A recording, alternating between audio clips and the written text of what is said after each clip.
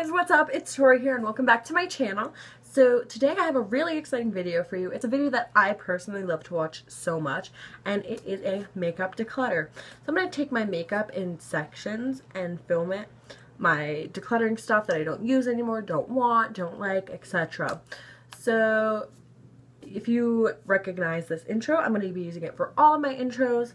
So thank you guys so much for watching. If you enjoyed, please give it a thumbs up. Please subscribe down below if you want to see more videos because at the end of the declutter, I am going to be doing a full makeup collection. So if you guys love decluttering just like me, stay tuned and let's see what I get rid of. Bye! Okay guys, welcome. So, sorry if you hear background noise. My window's open because it's such a beautiful day. I just want to leave my window open. So, right now I'm going to start with my primers. This is a little container I keep all my primers in. I have like these three acrylic containers that I usually keep my primers in, but or that I have all my makeup stored in. So, this is my primer drawer. So let's go through this and see. I don't really know if there's any primers I'm going to get rid of because I love really all of them and they're all sample sizes. So the first one I have is this Becca, what is it, the backlight priming filter. Absolutely love this. I got this on the Ulta 21 Days of Beauty, and it's an amazing, amazing primer. I absolutely love it. So I'm not going to get rid of that. This, I got my Ipsy bag. It is the No Pore no no pore blum primer. It hides pores and wrinkles. It's really nice. It's by this brand. I would definitely buy it uh, a full size of it because I really like the way that it made my skin look. Um, this is an Avance Flawless Effects Skincare Mattifying Emulsion Pore Refiner Matte Primer. I actually really like this primer too. It's a beautiful primer and it kind of just feels really nice on the skin. I don't know if I'm out of it though.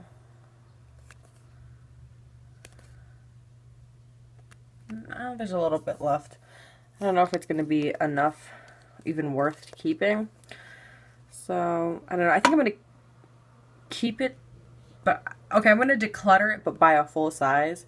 So, I'm going to declutter this from my collection. Next thing I have is this Smashbox Photo Finish Primer sample. I absolutely love this primer. It kind of looks weird, like the bubbles on the inside.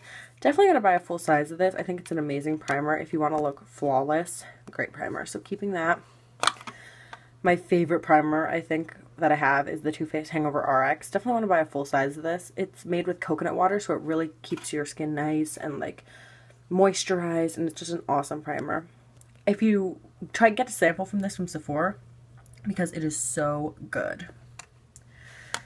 Um, this is a moisturizer by Air Repair. Keep it because it's little. These are all littles. Prime Time Foundation Primer from Bare Minerals. I think I'm going to get rid of this. I honestly, like, I liked it when I first, I got this when I first started doing makeup, and that was three years ago, so I don't think it's really, like, the way it should be.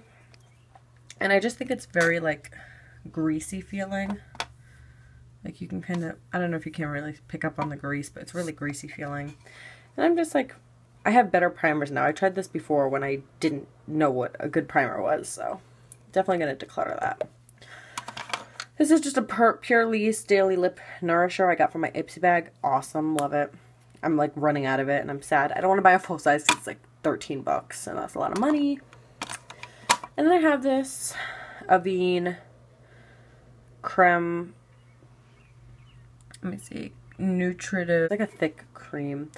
I don't really like it, so I think I'm going to get rid of it. And then this Urban Decay Glide On 24-7 lip pencil in the Ozone. I honestly don't really like it.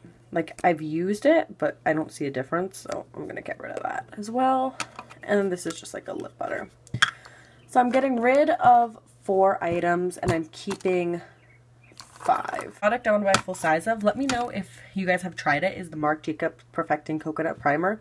It looks so good. So I'm thinking about buying it, but I don't know if it's worth it. So let me know in the comments down below if you have tried that. That's my primers. This is my little bin. I keep them all in. So go starting from the top. I recently just picked up this Makeup Forever uh, foundation in the shade Y335 and it's amazing. I used this for my prom makeup and it was absolutely stunning. I'm also going to do a makeup tutorial on my prom makeup because it was gorgeous. I did it in 20 minutes and it was like an amazing makeup. So Absolutely love this. Definitely keeping. This is a Mary Kay Tinted Moisturizer. Honestly, I don't use tinted moisturizers, but I remember putting this on the other day and like liking it. So, I mean, it's nice for, it has SPF 20. The other thing is it's pretty old. I'm pretty sure it's, it has like all this gunk on it. Like, you see this? Uh-huh. Because my mom gave this to me, and last time she ordered from Mary Kay was probably like years ago. So I'm not going to put this on my skin. So I'm going to declutter that.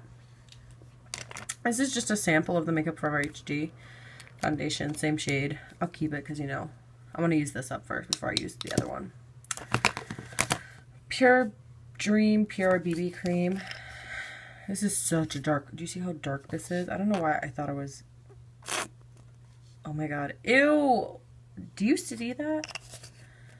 That oil, oh my god, I don't even know what that is. I'm gonna shake it. Do you hear it? It sounds like a lick. I think it's broken down, honestly. Oh, maybe not. There's like a lot of product in there, but...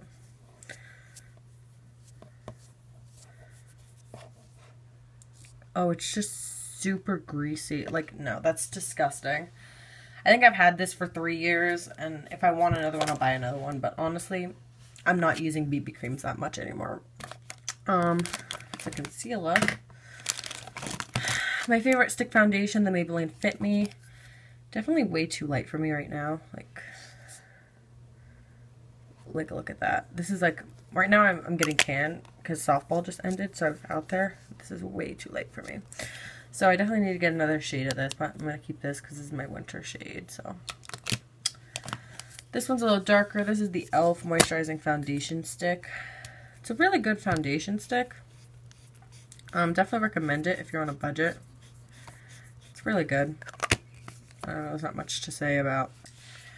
This Instant Age Rewind, it's such a light color. I don't even know if it matches. I remember I used it this past winter. It's not terrible, but like there's no product in there. I don't even know where it all went because I know I definitely did not use that much product.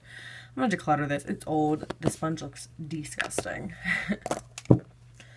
this I got a sample from Sephora. It's the NARS Radiant Tinted Moisturizer. I'll try it. I mean, it's NARS. I'm not going to not try it, I guess. Maybelline Fit Me Matte and Poreless. I have a love-hate relationship with this foundation. Sometimes if I put too much, like I don't know if it's the amount I put on because I put on a normal amount and it looked super cakey and gross on me. And I put on a lit like less and it looked really nice on my skin. So I don't know if it's me. It might just be me. I might just be putting it on. I have it on creamy beige. Definitely need to try it out more, but I don't know. I remember in the beginning I wanted to throw it away. I hated it so much how it looked.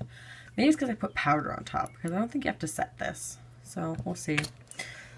Uh, my favorite foundation, don't even talk. Ready Cover CoverGirl Ready Set Gorgeous in 210. I have three shades of this. I absolutely love this foundation. It is amazing. If you want to try a drugstore foundation, it's super cheap. It's been on sale everywhere I check. It's been like Target, Walmart, uh, Harmon's Beauty Store. I found them all on sale. So go pick you up some. It's really good. And last, I have this e.l.f. BB cream, which has SPF 20. I would keep this, right? But I'm pretty sure this is what was breaking me out. And also, like, I don't know. It's a really nice coverage foundation, but I think it was breaking, I'm pretty sure it's breaking me out. So I'm just going to get rid of that. No, every time I put it on, my skin broke out. So I'm assuming this is the common denominator. So that is going goodbye. So I got rid of three foundations slash, oh no, four foundations slash BB creams, and I'm keeping six. That's not too bad. I'm doing pretty well with cluttering. Next up I have concealers. And I'm, I do not know if I'm going to get rid of any. Concealers and powders. I don't think I'm going to get rid of any, but we can go through them. NYC. This is the only translucent powder I have, and I absolutely love it. It's really nice. Kathleen Lights is the one who recommended this for me. So I got it because of her recommendation. She's right that the packaging's super, like, it's just super messy, but it's, I'm definitely to keep it.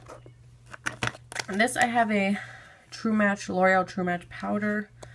This is my summer shade, I'm pretty sure. Yeah, here's my summer shade, so I'm going to keep it. It's an N5. Um, it's an okay powder. I don't know. I always set my face, and I don't know if you're always supposed to set your face, but I do.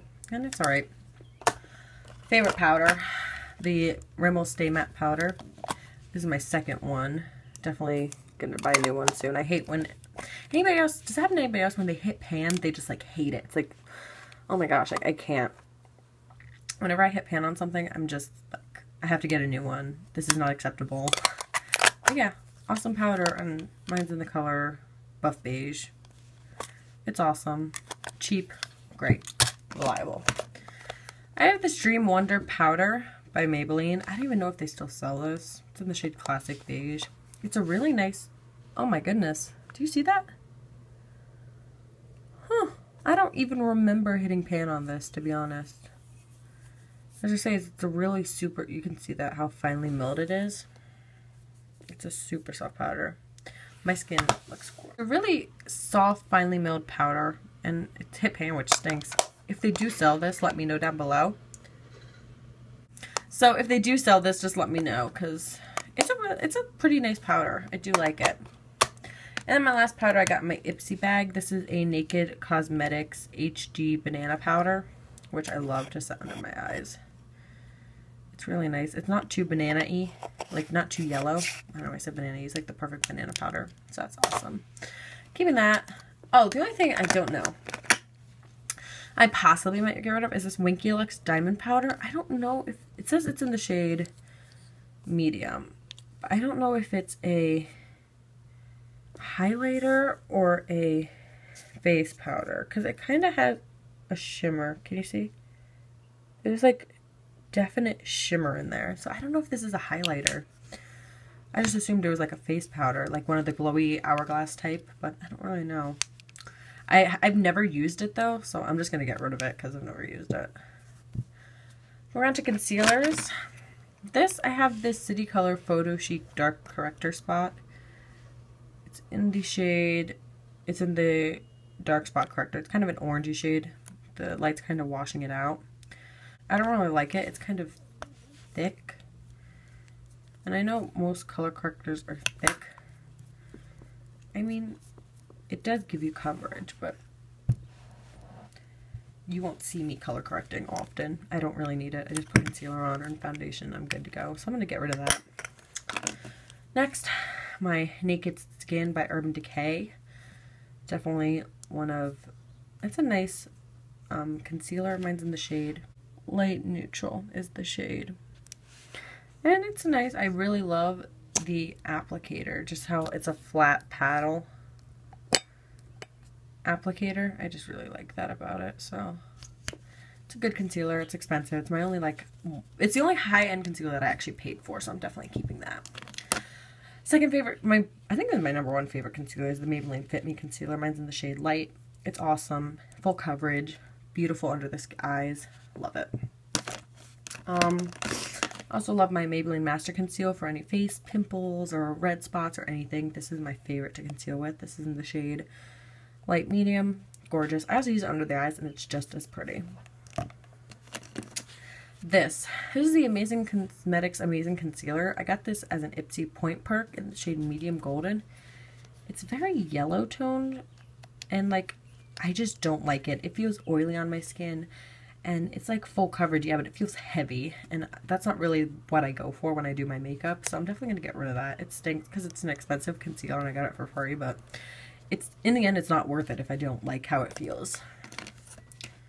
I have two under eye concealers. I have the Bye Bye Under Eye and the Bye Bye Under Eye Illumination. A lot of people don't like the illumination, but I actually really like it. I feel like it feels lighter and it feels lighter under my eyes and the color is actually lighter under my eyes compared to this one. So I'm going to get rid of the regular Bye Bye Under Eye and keep the illumination. The next shade I have is the LA Girl Pro Conceal Concealer. The shade I got is way too orange for, or like yellow tone for me, but I do love it. So I'm going to keep it until I buy a new one. And my Maybelline Dream Lumi Concealer, there's no coverage. It's really nice for highlighting, but I'm like out, so I'm just going to get rid of that.